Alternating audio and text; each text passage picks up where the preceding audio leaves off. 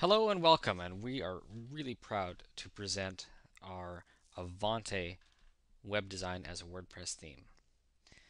Now, some of the great features of this Avante design we have never released before. They're brand new, and uh, we believe you'll love them just as much as we do.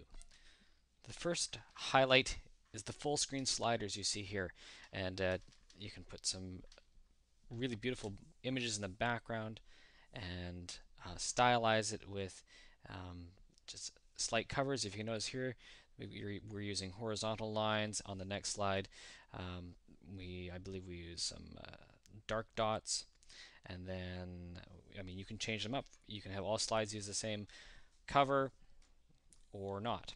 It's up to you. And of course, you notice that there's uh, animation uh, transitions here as well, and those are presets so that uh, gives you a really slick look and feel. We've also got uh, new animations for the buttons up at the top menu. And just uh, as in our previous WordPress theme, the Myriad design, we have the hover icon info boxes here. Something new to this design, uh, and you'll see this in coming WordPress themes as well, is that we have now dividers, and you can, uh, in between your content regions, your sidebar, or I guess you call them um, widget regions, you can have dividers.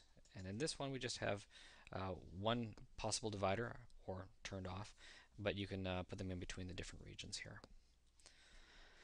And just like the uh, the Myriad design that came before, you can also now stylize um, the content regions, the backgrounds, with different background colors.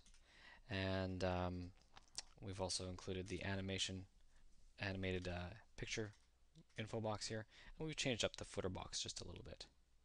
Now one thing that's not obvious here is we've also included now the ability to stylize the default um, inner content box background as well as the background of the outer uh, outer box, I guess you'd call it, as well as the edges. I'm just going to pause this video and I'm just going to show you what that looks like. Alright, here we are, we're back. Now you notice that the background image here has now changed as well as the, the, the edges and you're going to also notice that the, the background of the, um, call this the inner box, and this is the outer box, is also transparent.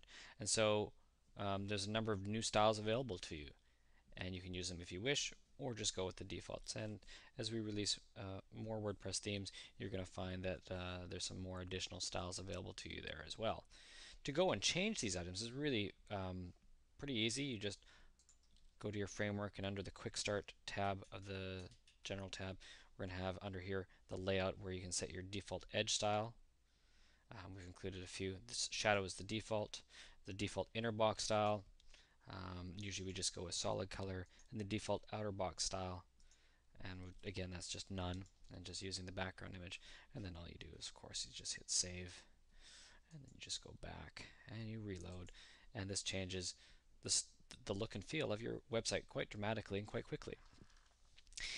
In the event that you want to have a different style um, on page to page to page, we also give you that ability by changing those settings within the page configuration. So if you were to go to pages, all pages, the home page. Once this page loads up, you'll see that down at the bottom here, we've included page styling. You can use the site default or you can specifically set it on a page by page basis. And of course, I had mentioned the dividers earlier. Uh, under the Layout Manager, we've renamed this tab the Layout Manager. You're going to see that we have now dividers here where you can select none or diagonal lines as it is available in this particular theme, and that's now something new to the framework as well.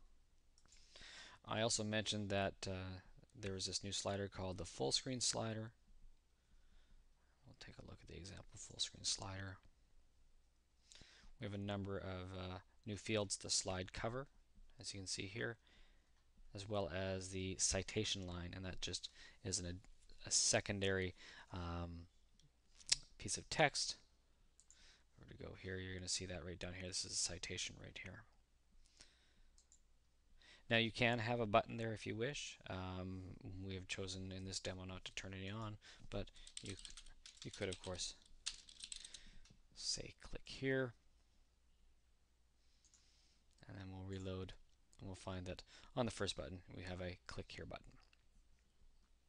Of course one other feature that we've we've included in this as well is the SoundCloud MP3 player. We also included that in the previous WordPress theme.